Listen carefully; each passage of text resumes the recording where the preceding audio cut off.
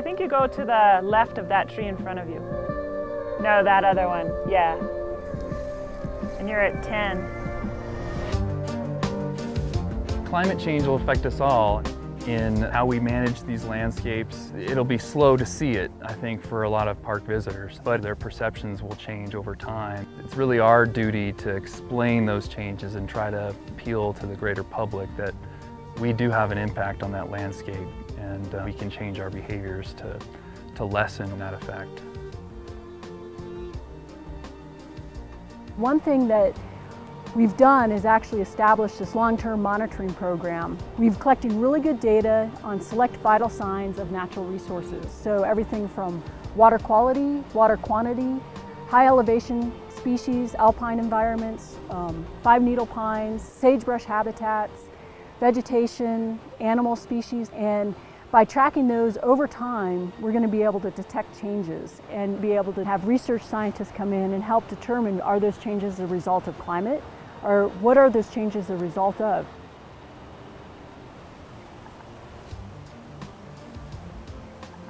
Snowfall is generally declining.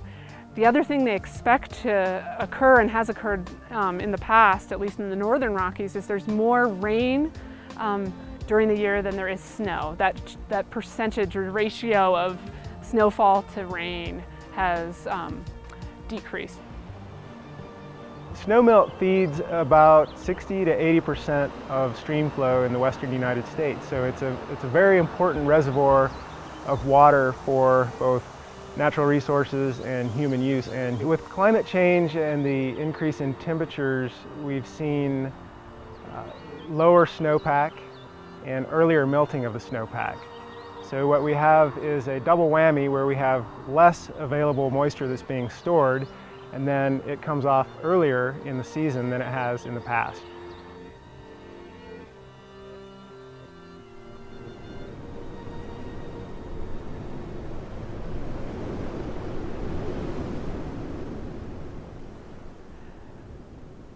We are part of an international effort to look at change in climate and alpine vegetation and diversity.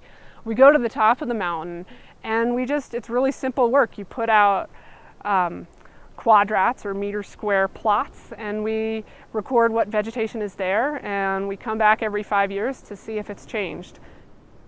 So as temperatures and things become milder in the alpine, other plants can come up into the alpine and sort of outcompete the native species there. And that's the fear that we won't have these gorgeous wildflower displays that really draw visitors. And more than that, a lot of species depend on them.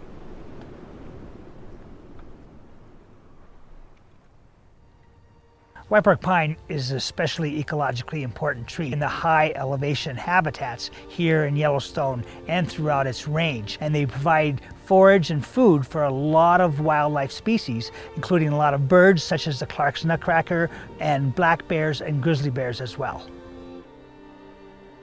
The white pine blister rust is an introduced pathogen and with whitebark pine in decline, managers are really sort of stepping up and trying to assess what they can do to maintain whitebark pine on the landscape and maybe even restore it in areas where they have declined rapidly. We're working collaboratively throughout the entire greater Yellowstone area and we are selecting oh, about 100 trees that we call plus trees. These plus trees are trees that we've determined to be resistant to white pine blister rust, and then we will collect cones from those trees, and then we will propagate those seeds into seedlings, and hopefully we'll have stock of resistant trees to white pine blister rust.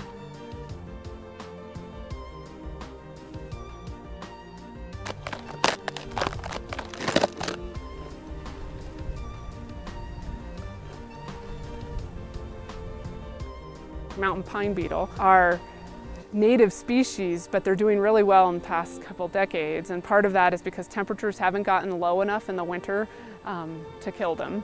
And so they even think they're now going through two cycles a year instead of just one period of reproduction.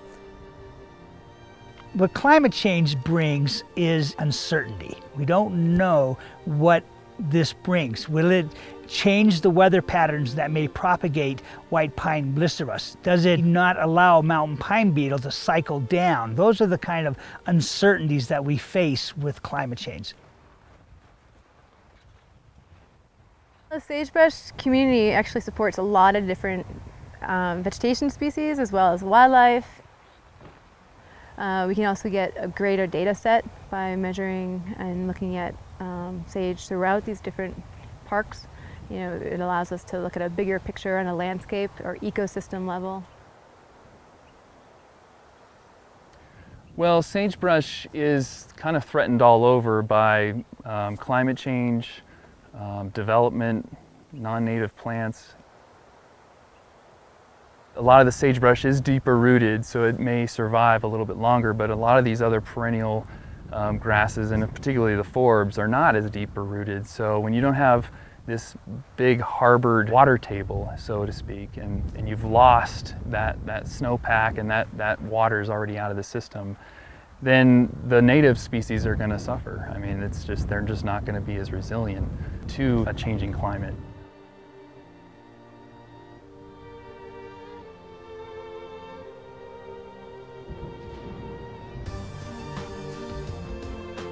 Well, we can all do a lot to affect climate change as individuals and as community. The Park Service itself is making attempts to be a good role model.